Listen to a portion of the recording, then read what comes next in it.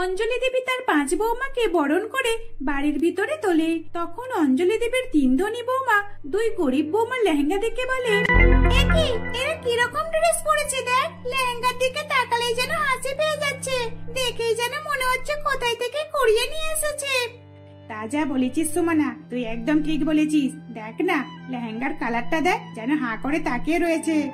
মা, আপনি কীভাবে আপনার দুই বড় ছেলে আর মেজ ছেলের সঙ্গে এরকম গরিব মেয়ের বিয়ে দিলেন? আপনি কি আমাদের মতো ধনী মেয়ে দেখতে পারলেন না? আমরা দেখুন, কত ধনী আর যৌতুকে কত কি নিয়ে এসেছি। আপনার দুই গরিব বৌমা তো কিছুই নিয়ে আসেনি। মা, আপনি একবার দেখুন তো, আপনার দুই গরিব বৌমা কীরকম খালি হাতে চলে এসেছে। দেখো আমার তিন ধনী বৌমা ওই রকম করে কাউকে কিছুই বলো না। আর তাছাড়া ধনী গরিব, ওসব তো কিছুই হয় না। ওসব আমরা ভেবে থাকলে তবেই হয়। আর তোমরা যদি তোমাদের বড় দুই যাকে তোমাদের মতোই করে দেখো, তাহলে নিশ্চয়ই ওরাও তোমাদের সঙ্গে ভালো ব্যবহার করবে। আর আমি জানি, ওরা দুই বোনই খুব ভালো। আচ্ছা এখন অনেক কথা হলো। এবার যাও, তোমরা নিজেদের রুমে গিয়ে রেস্ট নিয়ে নাও। এই বলে অঞ্জলি দেবী তার তিন ধনী বৌমাকে একটা রুমে পাঠিয়ে দেয় আর নিজে অন্য একটা রুমে চলে যায়। আসলে অঞ্জলি দেবীর বাড়িতে ঠিক দুইটা রুম ছিল আর একটা রান্নাঘর। সে তার পাঁচ বৌমাকে একটা রুমে পাঠিয়ে দিয়েছিল ঠিকই, কিন্তু তিন ধনী বৌমা তাদের দুই গরিব বৌমাকে অনেক অপমান করতে থাকে। এই, তোরা আমাদের রুমে কি করছিস? এখানে শুধু আমরা তিনজনই থাকব। তোরা এখান থেকে চলে যা। তোরা আমাদের সঙ্গে থাকলে আমরা একদমই এখানে থাকব না। আর তোদের মতো গরিবদের সঙ্গে আমরা মোটেও রাত কাটাবো না। দেখো সুমনা, তুমি কেন আমাদেরকে ওইরকম ভাবে বলছো? আমরা গরিব বলে কি মানুষ নয়? তোমরা ধনী বলে আমাদেরকে এরকম ভাবে অপমান করবে? আর তাছাড়া মা তো আমাদের পাঁচ বৌমাকে একটা রুমে ঘুমাতে বলল। আসলে এই বাড়িতে তো মাত্র দুটো রুম। আর তোমরা যদি আমাদেরকে বাইরে পাঠিয়ে দাও, তাহলে আমরা কোথায় থাকব বলো? দেখো, তোমরা যেতে পারো, থাকবে, যাও। রান্নাঘরেও তো থাকতে পারো। যাও, ওখানে গিয়ে থাকো। আমাদের সঙ্গে আমরা কোনো মতে তোমাদেরকে থাকতে নেব না, ঠিক আছে? তোমরা গরিব ভিখারি, আর তোমাদের রান্নাঘরেই মানায়। এখানে আমাদের সঙ্গে একদমই মানাবে না। এইরকম ভাবে অপমান করে সুমনা আর বাকি দুই ধনী বৌমা গরিব দুই বৌমাকে রুম থেকে বার করে দেয়। তখন গরিব দুই বৌমার কিছুই করার ছিল না। তাই তারা বাধ্য হয়ে রান্নাঘরে চলে আসে আর সেখানে বিছানা করে শুয়ে পড়ে। তখন দুই গরিব বৌমা একে অপরের সঙ্গে কথা বলতে থাকে। দেখেছিস পাপিয়া? ওরা তিনজনই ধনী বলে আমাদেরকে রুম থেকে বার করে দিল। আচ্ছা আমাদের কি রুমে শোয়ার কোনো? আচ্ছা আমাদের কি রুমে শোয়ার কোনো অধিকার নেই? আমরাও তো এই বাড়ির বৌমা। তাহলে আমরা কেন রুমেতে শুতে পারি না? আমরাও একদিন ভালোভাবে শোবো। তখন ওরা দেখবে আর জ্বলবে। এখন আমিও কিছু বলব না। আর মাকেও জানাবার কোনো প্রয়োজন নেই। আমরা দুই যাই এখন এখানেই থাকব। এই বলেই তারা সেদিন রাত্রে রান্নাঘরে ঘুমিয়ে পড়ে। দেখতে দেখতে সকাল হয়ে যায়। সকালবেলা ঘুম থেকে উঠে তারা দুই গরিব বোমা বাড়ির সমস্ত কিছু কাজ করে নেয়। আর তারপর শাশুড়ি মায়ের কাছে গিয়ে বলে, মা, আপনার জন্য কি খাবার বানাবো? আপনার যেটা পছন্দ, আমরা দুই বৌমা আজকে সেটাই বানাবো। আপনি বলুন, কি খেতে চান আপনি? বৌমা, তোমাদের যেটা ইচ্ছে করে, তোমরা সেটাই বানাও। হ্যাঁ আমার পছন্দ হলো লুচি, তরকারি, মাংস। তোমরা এগুলো যা বানাবে, আমি তাই খেয়ে নেব। কিন্তু বাকি তিন ধনী বৌমাকে কেন দেখতে পাচ্ছি না? ওরা কোথায়? ও আচ্ছা আচ্ছা। ওরা এখনও ঘুম থেকে ওঠেনি, তাই তো? দাঁড়াও, ওদেরকেও তো ডাকতে হবে। এই বলে অম্বেশা দেবী তিন ধনী বৌমা রুমের সামনে গিয়ে ডাকাডাকি করতে থাকে। বৌমা বৌমা, কি হলো? তোমরা এখনও কেন উঠছো না? কটা বাজে দেখেছ? আজকে তোমাদের প্রথম রান্না করার পালা। তোমরা তো আজকে প্রথম রান্না করবে। আর আজকে তোমরা এত দেরি করে উঠলে হয়? এই বলে অম্বেষা দেবী তার তিন ধনী বৌমাকে জাগিয়ে দেয়। তারপর তার তিন ধনী বৌমা ফ্রেশ হয়ে বাইরে এসে শাশুড়ি মাকে জিজ্ঞাসা করে, মা, আজকে কি খাবার বানাবো আপনার জন্য? আসলে আমরা শুনেছিলাম তো, বাড়ির সকলে পছন্দ মতো আজকে খাবার বানাতে হয়। তাই আপনার জন্য আজকে কি বানাবো? দেখো আমার তিন ধনী বৌমা, তোমরা আমাকে যা বানিয়ে খাওয়াবে, আমি সেটাই খেয়ে নেব। কিন্তু দেখো, যেন আবার উল্টো পাল্টা কিছু বানিয়ে নিয়ে চলে এসো না। আমাকে মাছ, মাংস, ভাত, ডাল যা দেবে, আমি তাই খাব। শাশুড়ি মায়ের কথা মতো তার পাঁচ বৌমা রান্নাঘরে আসে এবং বাকি তিন বৌমা দুই বৌমাকে বলে, দেখো, আমাদের রান্না তারপরে তোমরা রান্না করবে। আমাদের প্রচণ্ড গরম হচ্ছে। এখানে আমরা বেশিক্ষণ থাকতে পারব না। তাই আমরা কিছু একটা যাই হোক বানিয়ে মাকে খাইয়ে দেব। ভালো মন্দ বেশি বেশি খাবার বানানো আমাদের পক্ষে সম্ভব নয়। এত গরম সহ্য করে আমরা একদমই খাবার বানাতে পারব না। এই আমি বরং ম্যাগি বানিয়ে নিচ্ছি। আর তোরা দুইজনে একটা যাই হোক ছোটখাটো একটা বানিয়ে নে, যেটা খুব কম সময়ের মধ্যে হয়ে যাবে। এই বলে তারা তিন বৌমা, একজন ম্যাগি, একজন পাস্তা আর একজন চাউমিন বানিয়ে শাশুড়ি মায়ের কাছে নিয়ে চলে যায়। আর এদিকে বাকি দুই গরিব বৌমা রান্না করতে থাকে। তার শাশুড়ি মায়ের পছন্দ মতো রান্না করে। অত গরম সহ্য করেও তারা রান্না করে সুস্বাদু খাবার রান্না করতে থাকে। আর এদিকে চাইনিজ খাবার খেয়ে শাশুড়ি মা অম্বেশা দেবী প্রচণ্ড রেগে যায়। এ কি বৌমা তোমরা এসব কি খাবার বানিয়ে নিয়ে এসেছ? কি করব বলুন? গরমকালে তো রান্নাঘরে গরম সহ্যই করা যাচ্ছে না। রান্নাঘরে এক মুহূর্ত থাকতে পারছি না। তাই আমরা এরকম খাবার বানিয়ে নিয়ে আসলাম। অত গরম কি সহ্য করা যায়? বলুন। যাও এসব খাবারগুলো নিয়ে চলে যাও। আমি এসব খাবার কিছুই খাব না। এই বলে অম্বেশা দেবী তার তিন ধনী বৌমার খাবার সরিয়ে দেয়। তারপর দেখে যে বাকি দুই গরিব বৌমা অম্বেশা দেবীর পছন্দ মতো খাবার নিয়ে আসছে। সেই খাবারগুলো দেখে অম্বেশা দেবী অনেকে খুশি হয়। এবং খুবই তৃপ্তির সঙ্গে সেই খাবারগুলো পেট ভরে খেয়ে নেয়। আর বাকি দুই গরিব বৌমাকে বলে খুবই সুস্বাদু হয়েছে বৌমা। তোমাদের দুইজনের হাতের খাবার আমার অনেক পছন্দ হয়েছে। দেখো আমার তিন ধনী বৌমা এদেরকে দেখে তোমরা কিছু শেখো। তোমাদের মতো কুড়ে নয় খুব কম সময়ে খাবার বানিয়ে নিয়ে চলে আসলে। আর এদিকে আমার দুই গরিব বৌমাকে দেখো অত গরমে আমার জন্য গরম সহ্য করে খাবার বানিয়েছে। অম্বেশা দেবীর মুখে এই কথা শুনে তিন ধনী বৌমা রাগ হয়ে যায়। তারপর তারা তিনজনে নিজেদের রুমে চলে যায়। কিছুক্ষণ পর প্রচণ্ড গরম হওয়ার কারণে তারা তিনজনে মিলে বাথরুমে স্নান করতে ঢুকে পড়ে। এই, এখন আমরা কেউই বাইরে বেরোবো না। যতক্ষণ না ট্যাঙ্কের জল শেষ হচ্ছে, ততক্ষণ আমরা তিনজনে কেউই বার হব না। দেখ, আমরা যদি বাইরে বেরিয়ে পড়ি, তাহলে ওরা দুই বৌমা আমাদের থেকেও ভালো করে স্নান করে নেবে। আর আমরা তিনজনই ওদেরকে কোনোভাবে স্নান করতে দেব না। ওরা খুবই প্রশংসা শুনছিল তাই না? এবার বুঝবে, গরমে দাঁড়িয়ে থাকতে কতটা কষ্ট হয়। এদিকে সুমন আর বাকি দুই ধনী বৌমা খুবই মজা করে স্নান করছিল। অন্যদিকে দুই গরিব বৌমা দাঁড়িয়ে দাঁড়িয়ে দরজা ঠুকে চলছিল। কিন্তু তাদের দুই বৌমার কথা তিনজনে মিলে কেউই কোনো সারা শব্দ দিচ্ছিল না। প্রায় কয়েক ঘণ্টা কেটে যায়। তারপর ট্যাঙ্কির জল শেষ হয়ে যায় আর তারপর তারা তিন ধনী বৌমা বাথরুম থেকে বাইরে বার হয়। আসলে দেখো না, বাথরুমে জল শেষ হয়ে গেছে। আমরা একটু শান্তিভাবে স্নানও করতে পারলাম না। দেখো, এবার তোমরা কিসে স্নান করবে? এই বলে সুমন আর বাকি দুই ধনী বৌমা সেখান থেকে চলে যায়। ট্যাঙ্কির জল শেষ হয়ে গেছে শুনে বাকি দুই গরিব বৌমা চিন্তায় পড়ে যায়। তারা প্রচণ্ড পরিমাণে ঘেমে গিয়েছিল। শাড়িটা পুরো ভিজে গিয়েছিল। ওই রকম অবস্থায় তারা কীভাবে থাকতো? তাই তারা প্রতিবেশীর কাছ থেকে এক বালতি জল চেয়ে নিয়ে আসে আর সেই জলেতে তারা দুই গরিব বোমা স্নান করে নেয়। এইভাবেই দেখতে দেখতে আরও বেশ কিছুদিন অতিবাহিত হয়ে যায়। এমনই একদিন অম্বেশা দেবী তার দুই গরিব বোমার কষ্ট বুঝতে পেরে একটা এসে কিনে নিয়ে আসে। আর সেই এসিটা নিজের রুমে লাগিয়ে নেয় আর দুই করে বৌমাকে বলে দেখো বৌমা আমি রুমে এসি লাগিয়ে দিয়েছি। এবার থেকে এখন এখানেই তোমরা থাকবে। তোমাদের রান্নাঘরে শোবার আর কোনো প্রয়োজন নেই ঠিক আছে? কিন্তু মা আমরা এভাবে এত বড় রুমে দুইজন থাকব? না না এটা কোনোভাবেই আমরা মানতে পারব না। দেখুন মা আপনি এত গরমে বাইরে থাকবেন এটা তো আমরা কোনোভাবেই দেখতে পারব না। আমরা শান্তিভাবে ঘুমাবো আর আপনি বাইরে গরম সহ্য করবেন আপনিও আমাদের কাছে এখানে থাকবেন? শাশুড়ি মা দুই গরিব বৌমাকে এসিড হাওয়া খাওয়াচ্ছিল দেখে তাদের তিন ধনের বৌমা খুবই হিংসা হচ্ছিল, আর তখন তারা নিজেদের ভুল বুঝতে পারছিল। দেখেছিস? যদি আমরা ওদের সঙ্গে ভালো ব্যবহার করতাম, আর আমরাও যদি শাশুড়ি মাকে খুশি করতে পারতাম, তাহলে হয়তো শাশুড়ি মা আমাদেরও রুমে একটা এসি লাগিয়ে দিত। সত্যি, এখানে তো আমাদেরই দোষ, আমাদেরই ভুল হয়েছে। চল, এবার আমরা তিনজনে মায়ের কাছে গিয়ে ক্ষমা চেয়ে নিই। এইভাবে তিন ধনী বৌমা, শাশুড়ি মা এবং দুই গরিব বৌমার কাছে ক্ষমা চেয়ে নেয়। সেদিনের পর থেকে তারা পাঁচ জায় মিলে হাসি খুশিতে শাশুড়ি মাকে নিয়ে বসবাস করতে থাকে।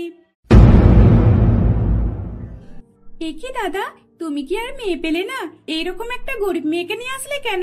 আমি তো ভেবেছিলাম আমার দাদা একটা খুব ভালো ধনী পরিবারের মেয়েকে নিয়ে আসবে, যে নিজের সঙ্গে অনেক অনেক যৌতুক নিয়ে আসবে।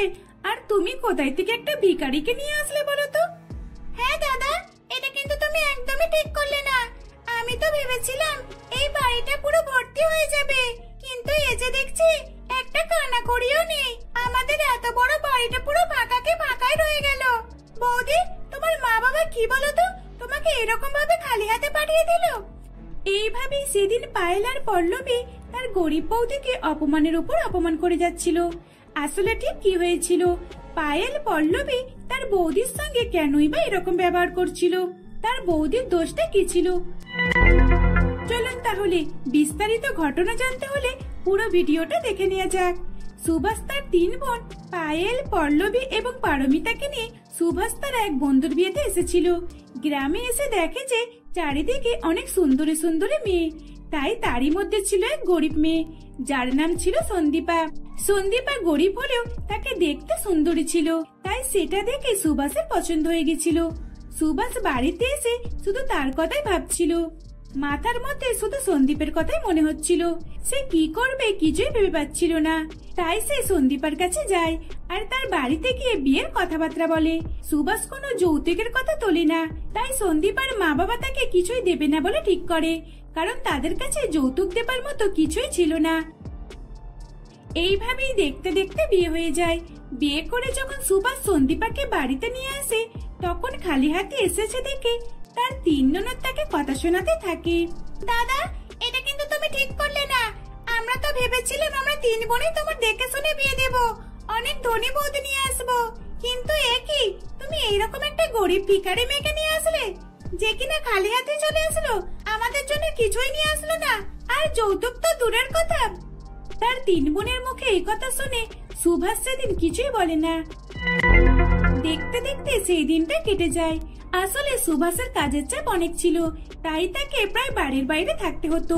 আর এদিকে সুভাষ বাড়িতে থাকতো না বলে সুভাষের তিন বোন সন্দীপার উপর অত্যাচার করে যেত।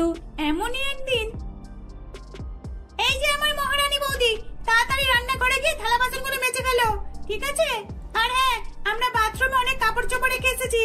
ওগুলো কেচো দিয়ে শোকাতে দিয়ে দেবে। আর তাড়াতাড়ি খাবারটা বানিয়ে দাও। আমরা আর কতক্ষণ ধরে বসে থাকব? দেখ না, যেন কোথা করে মহারানী এসে গেছে। এত দেরি করে ঘুম থেকে উঠেছি। তুমি তাড়াতাড়ি উঠতে পারো না? তুমি তো জানো, আমরা সকাল সকাল উঠে পড়ি। আর তুমি কোথা করে মহারানী বলো তো? যে এত দেরি করে ঘুম থেকে উঠছো, তাহলে বাকি কাজগুলো কে করবে? আমরা করব নাকি? আমাদেরই যদি সব কাজ করতে হয়, তাহলে আমরা তোমাকে কিসের জন্য নিয়ে এসেছি? এই বাড়িতে আমরা তোমাকে বৌদি বলে মানি না। এই বাড়িতে তুমি হলে আমাদের কাজের মেয়ে। দেখো, তোমরা আমার সঙ্গে কেন এরকম ব্যবহার করছ? আমি কি এমন করেছি? হ্যাঁ আমার মা গরিব, তাই জন্যই তো আমাকে কিছুই দিতে পারেনি। আর যদি আমার মা বাবার কাছে থাকতো, তাহলে নিশ্চয় তোমাদের কিছু না কিছু দিত। আমাকে এরকম ভাবে খালি হাতে পাঠাতো না। থাক থাক, আর কোনো কথা বলতে হবে না। যাও, তাড়াতাড়ি রান্নাঘরে গিয়ে কাজ কামগুলো সেরে ফেলো। এইভাবেই সেদিন পায়েল, পল্লবী, পারমিতা বৌদির উপর অত্যাচার করে যাচ্ছিল। শত শত কাজ বার করে দিত। বৌদিকে রোজে রোজ সন্দীপা তার তিন অত্যাচার সহ্য করতে করতে ক্লান্ত হয়ে পড়তো। আসলে তার তিন এটাই চাইতো। তারা চাইতো যে বৌদিকে খুবই জ্বালাতন বিরক্ত করবে, যাতে তার বৌদি এই বাড়ি ছেড়ে তার দাদাকে ডিভোর্স দিয়ে চলে যায়। আর তারা তিন বোনে তার দাদার যেন ধনী পরিবারে বিয়ে দিতে পারে। এইসব ভেবেই পায়েল, পল্লবী আর পারমিতা বৌদির উপর অত্যাচার করে যেত। তারা বৌদির উপর কোনো দয়াময়া দেখাতো না। এইভাবেই দেখতে দেখতে বেশ কিছুদিন অতিবাহিত হয়ে যায়। এমনই একদিন আজ আসুক বাড়িতে, দেখাবো মজা। এতদিন মায়ের বাড়ি থাকা চার চার দিন হয়ে গেল। চার দিন মায়ের বাড়ি থাকা, আমাদের এখানে থালা বাসনগুলো জড়ো হয়ে যাচ্ছে। আর কাপড় চোপড় তো জড়ো করে রেখে দিয়েছি। উফ! এই বৌদিটা কবে যে আসবে কে জানে? যেন ওই বাড়ি থেকে আসতে ইচ্ছে করছে না। কিরে যদি বৌদি না আসে তাহলে কি হবে?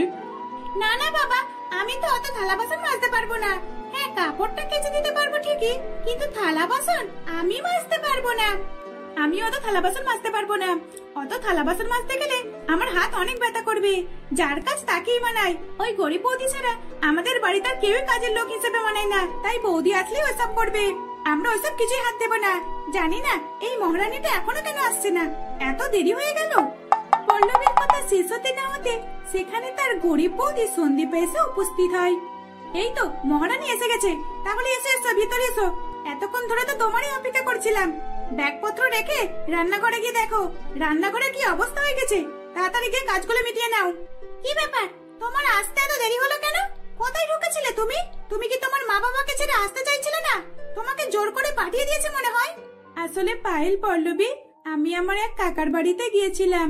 আস্তে আস্তে দেখা হয়ে গেছিল তো তাই ওখান থেকেই ঢুকেছিলাম একবার। আচ্ছা তোমার মা বাবারা তো জানে তোমার তিনটে ননদ রয়েছে তাহলে তার সত্ত্বেও তোমাকে কীভাবে খালি হাতে পাঠাতে পারে? এক তো যৌতুকে কিছুই দেয় না আর তার উপর আবার এবারে যেত এবারও তোমাকে খালি হাতে পাঠিয়ে দিল। না না আসলে আমার মা বাবা তোমার জন্য পাঠিয়েছে। তোমাদের জন্য এক প্যাকেট মিষ্টির বাক্স পাঠিয়েছে। আর তোমাদের তিন বোনের জন্য তিনটে জামা পাঠিয়েছে। কই কই, দেখি দেখি দেখি তো কেমন জামাটা। পায়েল, এত দূর থেকে আসলাম তো, অনেকটা ক্লান্ত হয়ে গেছি, আর জল পিপাসাও পেয়েছে, আমি একটু জল খেয়ে আসছি। এই বলে সন্দীপা রান্নাঘরে জল খেতে চলে যায়। তখন সন্দীপার তিন ননদ, পায়েল, পল্লবী আর পারমিতা, তারা তিনজন মিলে সন্দীপার ব্যাগ খুলে মিষ্টির বাক্সটা বার করে নেয়। আর তারা গপাগপ করে তিন ননদ মিষ্টি খেয়ে নেয়। আর কিছুক্ষণের মধ্যেই সেখানে সন্দীপা এসে যায়। সন্দীপা এসে তার তিন ননদকে জামা দিয়ে দেয়। তখন তার তিন ননদ জামাগুলো দেখে বলে, এ বাবা, এ কি জামা? যেন মনে হচ্ছে ফুটপাত থেকে কেনা। অতটাও খাস নাই। এই বলে তারা তিন বোনে নিজেদের রুমে চলে যায়। এদিকে বাড়িতে আসতে না আসতে সন্দীপা ক্লান্ত অবস্থায় বাড়ির সমস্ত কাজ করা শুরু করে দেয়। তারা তিন বোনে নিজেদের রুমে গিয়ে আরাম করতে থাকে। আর একবারও বৌদির কাছে এসে তার হাতে হাতে জোগাড় দেয় না। তারা নিজেরা নিজেদের মতো ব্যস্ত থাকে। আর এদিকে সারা দিন রাত সন্দীপা কাজ করে মরতো। এইভাবেই দেখতে দেখতে বেশ কিছুদিন কেটে যায়। সুভাষ এইসব কিছুই জানতো না। সে ভাবতো যে তার তিন বোন বৌদির সঙ্গে খুব ভালোভাবে রয়েছে। এমনই একদিন সন্দীপা নিজের রুমে একাই ঘুমাচ্ছিল। তখন সে একটা জোরে শব্দ শুনতে পায়। তখনই সন্দীপা তার তিন ননদের রুমে গিয়ে দেখে যে সেখানে তিনটে ছেলে এসে তার ননদের হাত ধরে টানাটানি করছে। এ বাবা এ যে দেখছি নেশা করে রয়েছে। কিন্তু আমাদের বাড়িতে ঢুকলো কীভাবে? না না, আর দেরি করলে চলবে না। আমাকে এখনই পুলিশকে খবর দিতে হবে, না হলে একটা অঘটন হয়ে যাবে। এই বলে সন্দীপা তাড়াতাড়ি করে পুলিশ স্টেশনে খবর দিয়ে দেয়। তারপর সন্দীপ একটা বড় লাঠি নিয়ে তাদের তিনজনকে মারধর করতে শুরু করে। আর কিছুক্ষণের মধ্যেই সেখানে পুলিশ এসে হাজির হয় আর তাদের তিন নেশাখোরকে অ্যারেস্ট করে নেয়। তখন তারা তিন বোনে নিজেদের ভুল বুঝতে পারে। বৌদি, আজ তোমার জন্য আমরা বেঁচে গেলাম। সত্যি, না হলে আজকে যে আমাদের সঙ্গে কি অঘটনটাই না ঘটতো, আমরা তো জানতেই পারতাম না। হ্যাঁ বৌদি, তুমি আমাদেরকে ক্ষমা করে দাও। আমরা তিন বোনই তোমার সঙ্গে অনেক খারাপ ব্যবহার করেছি। তোমার সঙ্গে অনেক অত্যাচার করেছি। কিন্তু আর নয়, আমরা এখন আমাদের নিজেদের ভুলটা বুঝতে পেরে গেছি। বৌদি, তুমি আমাদেরকে অনেক ভালোবাসো, কিন্তু আমরা তোমার উপর অনেকই অত্যাচার করি।